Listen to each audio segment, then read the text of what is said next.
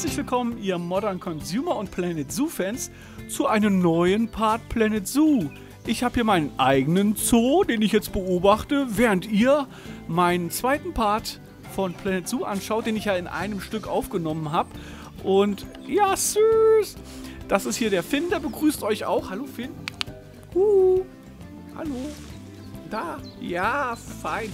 Ähm, der begrüßt euch auch und äh, wünscht euch viel Spaß jetzt bei dem Let's Play. Ähm, diesen Part wird es noch so sein wie im letzten, aber wahrscheinlich im nächsten mache ich dann mal, dass ich einfach aufnehme und danach das Ganze kommentiere. Ich wünsche euch einfach viel Spaß und hoffe, euch gefällt das Spiel auch so sehr wie mir. Aber wir haben es jetzt geschafft, Silber. Sehr, sehr gut. Es heißt... Das trifft wohl besonders zu, wenn dein Nachbar ein. Königstiger ist. Aber diese Tiger sehen so zufrieden aus, dass sie vermutlich auch dann nicht ausreißen würden, wenn ihr Zaun kaputt wäre. oh, aber lass es lieber nicht drauf ankommen. Gut, statten wir den blauen Pfauen einen Besuch ab. Wir müssen wohl ihr soziales Wohlbefinden verbessern. Ja, das ist alles sehr schön. Ich habe jetzt schon einiges geschafft und jetzt fehlt halt nur noch hier eine Glaswand. Ich weiß nicht, ob ich das jetzt machen darf.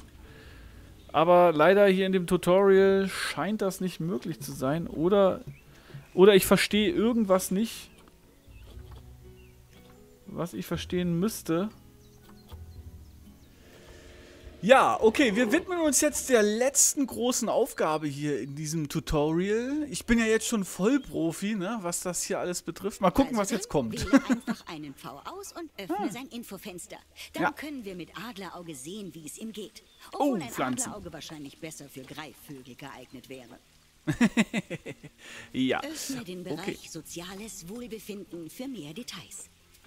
Soziales Wohlbefinden. Gut. Okay. Wie du siehst, sollten mehr Pfauen im Gehege sein. Ah, Dieses kleine Problem löst du, indem du drei weitere weibliche Pfauen aufnimmst. ist das ein Männchen? Du weißt ja, wie das geht. Siehst du, der Mann, der braucht wieder vier Frauen hier an seiner Seite. So, und ich weiß jetzt, wie das geht. Ah, hier ist doch schon eine, oder was? Hey, hallo, hier Frau V. ja, die Männchen sehen mich bei den Pfauen besser aus. Das sind die, die das tolle Kostüm dann anhaben und das dann so aufmachen, wenn es in die äh, Paarungszeit geht. Und ja, müssen ja irgendwie Eindruck schinden, ne, die Jungs hier. Das ist der stolze V. Faunhahn. Krass, dass sie so ein, so ein Tier hier reingemacht haben. Cool. Okay, also, wie geht das nochmal? Tiermarkt. Was ist denn das? Äh, Wo sehe ich nochmal? Mann, Frau. Achso, die nehmen wir alle. Wir nehmen alle drei. Alle drei. Und an den Zoo senden. Direkt hier in das Gehege. Ja, alles schon passiert. Und wo ist der Eingang? Hier ist der Eingang. Also die haben ja auf jeden Fall was. Och, süß. Oh, hier Grafikeffekt. Naja. Äh, die haben ja was zu sehen, zu spenden. Rennen die da hinten? Dann sollen die die jetzt auch mal bringen. Öffne das Tier um die Heere zu platzieren. So, alle auswählen. Verschieben und hier Gut rein. gemacht. Ich vermute, dass sie bald geliefert werden. So. Aber es klingt leider so, als ob unser Schneeleopardenweibchen etwas mürrisch wäre. Gucken wir doch mal, ob wir ihr helfen können. Das ist echt cool hier, das Gehege. Das ist ja richtig schön. Und dann auch hier diese Figuren. Sehr cool. So, der Schneeleopard. Wo ist er? Wo ist er? Da hinten in der Ecke ist er. Hab ich ich habe mir das alles noch gar nicht genau angeguckt hier. Ah, das läuft so schön flüssig im Gegensatz zu Planet Coaster. Hier ist halt nicht so viel an Objekten bis jetzt im Park. Wo ist er denn, der Schneeleopard? Tiere können genauso wie Menschen Stress empfinden, wenn etwas nicht ganz stimmt. Als würdest du Zeuge sein müssen, wenn jemand Milch vor dem Teebeutel in die Tasse gibt. Schneeleoparden stresst es, wenn sie nicht genug Privatsphäre haben. Oh, Du kannst den Stress verringern, indem du die normalen Glasbarrieren durch Einwegspiegel ersetzt. Das ist nicht billig, aber sie sind die Investition wert. Dadurch haben Okay. Schneeleoparden eine Rückzugsmöglichkeit, wenn sie den neugierigen Blicken unserer Besucher entkommen möchten. jetzt ist die Frage, in welche Richtung, ne? Wird ein Tier aus seinem natürlichen Biom gerissen, ist es wahrscheinlich, dass es ihm zu heiß oder zu kalt ist. Den Schneeleoparden ist es natürlich selbst bei dem schrecklichen Wetter in Großbritannien zu heiß. Du solltest das Gehege abkühlen, indem du Klimaanlagen hinzufügst. Aber öffnen wir zuerst die Temperatur-Heatmap und werfen einen Blick auf die Temperatur im Leoparden. Ach, hier hat das geklappt. So, aber wie ist das jetzt hier? Ich will das jetzt auch mal, dass das hier auch klappt. So ein Weg. Zack. Das geht nämlich nur an den vorgesehenen Sachen irgendwie dafür, glaube ich. Irgendwie ist das komisch. Ich blicke da noch nicht ganz durch. Öffne die Temperaturansicht. Die Temperaturansicht. Okay. Ja. Schalte die Temperatur Heatmap ein. Wie Okay. du sehen kannst, haben wir bereits eine Klimaanlage installiert. Platzieren wir weitere, um einen möglichst großen Teil des Geheges so Okay. kühl wie möglich zu machen. Zum Gehege? Glück ist es bereits mit Strom versorgt. Aber in Zukunft musst du auch darauf achten. Zur Info, wenn irgendein Teil des Geheges Strom hat, hat das ganze Gehege Strom. Was war denn das eben? Klimaanlage. Aber ich würde jetzt gern auch nochmal den, auch wenn ich es jetzt hier grob sehe, ich sehe jetzt den Radius hier eigentlich gar nicht. Aber ich mache das mal hier hin. Und hier hinten mache ich auch nochmal einen hin. So, und jetzt? Was ist mit Strom jetzt oder was? Füge drei Klimaanlagen hinzu. Heatmaps gibt es für allerhand hilfreiche Sachen.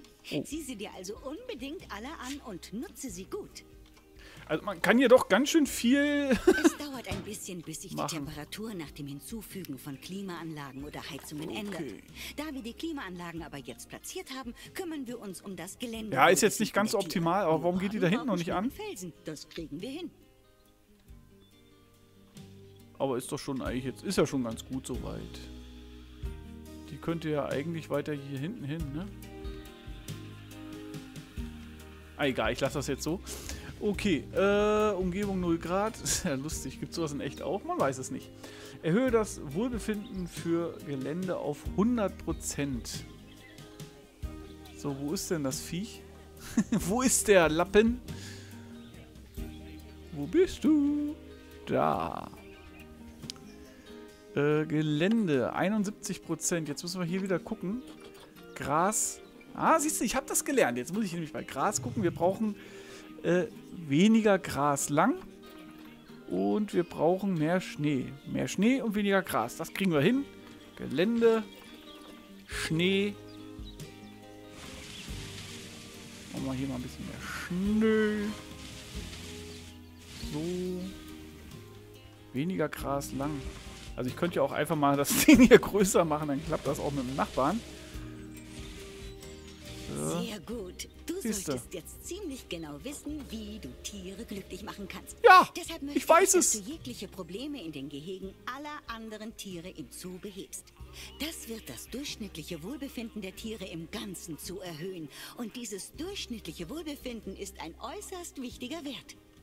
Um auf einen Blick zu sehen, wie es all deinen Tieren im Zoo geht, musst du die Zooverwaltung und dann den Bereich Tiere öffnen.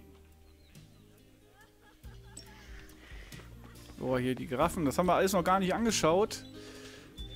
Überhaupt, das ist wunderschön gemacht hier alles. Ich, wo ist denn eigentlich der Bahnhof? Hier. Ah. Hier ist eine Warteschlange wie in Planet Coaster gemacht. Gucken wir mal kurz hier in diese allgemeine Geschichte rein. Der müsste jetzt auch glücklich sein. Das Einzige, was halt noch nicht geklappt hat, ist wirklich dieses Fenster an dem äh, einen Gehege da. Äh, Zoo. Aha. Tierbewertung. Hier findest du deine Wie Tiere. du sehen kannst, wird in dieser Liste das Gesamtwohlbefinden der Tiere angezeigt. Wenn 20, also etwas 32 nicht Jahre. stimmt, kannst du mit Hilfe der Schaltfläche finden, schnell beim Tier vorbeischauen. Gut, ich mach kurz Pause, während du dich um alle Tiere kümmerst. Sehr schön. Finden. Ah, Elefant. Hallo sagen. Hallo, Elefant. Oh, er überrennt uns. Ist- ähm, was soll ich jetzt machen? Einfach so um mich kümmern oder was? Tier ist hungrig. Ist hier kein Essen? Uh. Also, jetzt müssen wir hier mal gucken. Ich äh, weiß nicht, was da los ist. Das ist doch hier was zum Fressen, ne? Futterspender ist leer. Das sind jetzt, jetzt kommen die Probleme auf mich zu. Und ich habe keine Ahnung, was da los ist. Das muss ich jetzt echt mal verstehen. Wo ist denn hier der Mitarbeiter, der das Gehege hier be bestückt mit Essen? Hm. Mhm, mhm, mhm. So, Warnung. Tierpfleger rufen. Tiere 5, was heißt das hier?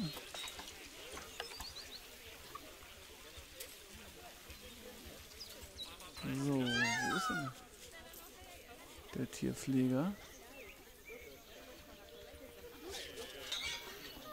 So, da kommt jetzt irgendwer.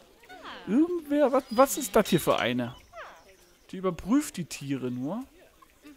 Wir sind schon ruhig, ne? Ja, leer. Okay, ich will aber... Ich habe einen Tierpfleger gerade gerufen.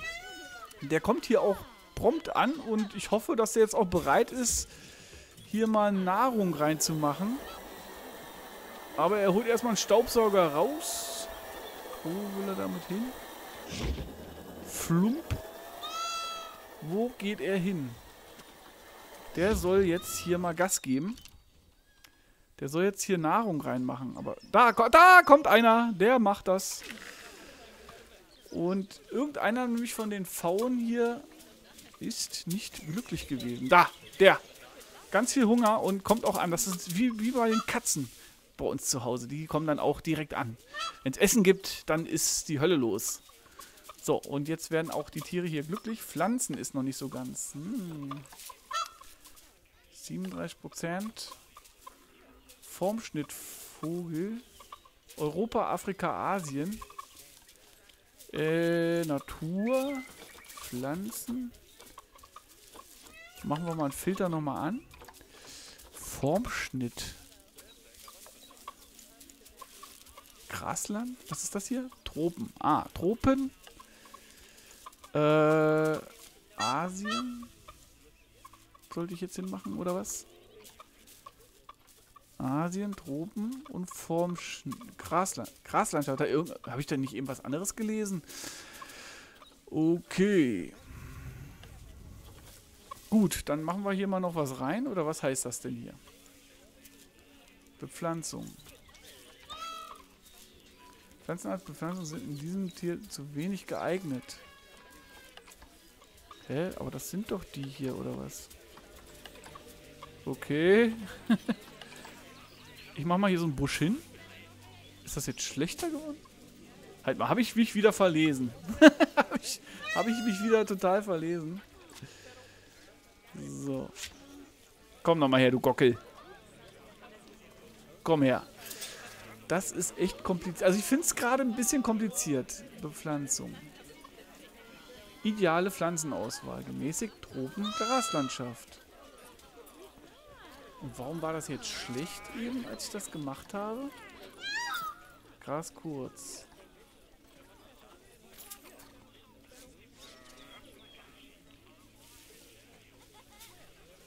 Was? Braucht weniger Gras kurz. ich mache immer falsch rum. Also ruhig mehr Gras lang von dem aus gesehen. So. Gleich habe ich, gleich habe ich, gleich habe ich. Jetzt ist das doch schon mal grün hier, ne? Jetzt fehlt nur noch Pflanzen. Also Pflanzen ist aber echt eine schwierige Nummer, finde ich. Formschnitt Vogel. Asiatisch. Gemäßigt. So. Wo ist der? Gemäßigt. Tropen machen wir mal weg. Was passiert jetzt, wenn ich hier so einen hinmache? Geht das runter. Ich verstehe nicht, warum das dann runtergeht. Ideale Pflanzenauswahl. Gemäßigt, Tropen, Graslandschaft. Gemäßigt, Tropen, Graslandschaft. Hä? Warte mal, egal. Ich mach einfach mal. Ich mache jetzt einfach hier noch ein paar hin. Weil der untere geht ja höher. Der untere geht höher. Passiert aber nichts. So, ich mache jetzt mal radikal. Ich mache mal radikal gerade. Ne? Ich mache das Ding hier mal raus. Oh. Ne, das ist gar nicht gut. Das ist nicht gut. Rückgängig. Hä? So, weg damit. Ich mach mal ein bisschen was weg. Ja, alles wird gut, mein Freund. Alles wird gut. So, was passiert jetzt hier, wenn ich das jetzt gemacht habe? Ich muss ja forschen, woran es liegt. Ah, auf einmal gefällt es ihm. Er braucht mehr freie Fläche oder die Pflanzen haben ihn einfach gestört oder sowas. Ich kann es nicht genau erklären. Ähm, das sind also Sachen, wo ich noch ein bisschen dahinter steigen muss. Aber jetzt sind sie doch glücklich und zufrieden, so wie es aussieht. Ich bin auch glücklich und zufrieden. Oh, süß. Die Schildkröten. Hier muss man überall noch so ein bisschen was machen, aber das wäre jetzt, glaube ich, zu viel für das erste Video in Planet Zoo mit mir hier. Ähm, kann man eigentlich die Gäste auch so wie damals aus ihrer Perspektive und so. Ah, schön. Hier kann man das auch nochmal aus der Perspektive sehen. Sehr gut. Äh, und damit würde ich sagen, hören wir jetzt erstmal auf mit dem Video. Das war jetzt wahrscheinlich schon relativ lang. Ich musste das doch zusammenschneiden am Ende. Ich hoffe, es hat euch so ein bisschen gefallen und ich muss mal gucken, womit ich dann hier weitermachen werde im Spiel. Es gibt ja noch andere Modi. Man kann wahrscheinlich auch einfach so einen Park aufbauen. Wie auch immer, aber ich denke mal, ich muss mich da noch so ein bisschen rantasten. Mein Ersteindruck ist auf jeden Fall von der Optik und von dem Spiel an sich her sehr gut. Und vor allen Dingen im Gegensatz zu Jurassic World Evolution hat man hier, glaube ich, viel mehr zu tun, viel mehr Möglichkeiten. Man kann hier mehr individuell machen. Und die Tiere brauchen wirklich viel Zuneigung und Liebe. Also wer die Sims mag, der wird hier wahrscheinlich auch schon mal richtig sein. Äh, da muss man sich halt um die Tiere kümmern und äh, die Menschen sind dann so im Hintergrund, ja, die freuen sich dann. Äh, ja, also ich bedanke mich bei euch fürs Zuschauen. Wenn es euch gefallen hat, lasst gerne ein Like da. Guckt auch gerne in meine anderen Videos rein. Planet Coaster, FIFA. Und äh, in, in, nächster Zeit bestimmt noch das ein oder andere Planet Zoo Video. Ich will mir das noch ein bisschen weitergeben und mal gucken. Okay. Siehst, da fehlen die Objekte, glaube ich. Irgendwie Handys oder sowas. Manchmal klappt das nicht so ganz. Ähm, ja, also, sehr schönes Spiel wunderschön animiert alles und äh, ich bin gespannt, was es noch so alles zu bieten hat. Bedan bedanke mich bei euch fürs Zuschauen und lasst auch gerne ein Abo da, falls ich es nicht eben schon gesagt habe. Macht's gut, bis dann, euer Basti oder auch Modern Consumer. Ciao!